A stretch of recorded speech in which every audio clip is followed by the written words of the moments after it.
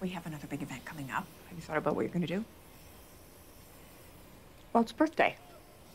Whatever you need, I'm here. Yeah, I um. I don't, I don't think we're gonna do anything this year. What are you talking about? Of, of course we're gonna do something. Skyler, he was diagnosed around his birthday, right? I, so it's been a whole year. Listen, I've had my problems with Walt. Why he wouldn't come to the house when we were all practically begging, whatever, water under the bridge. But at this point, every year is precious. We are, what are you doing?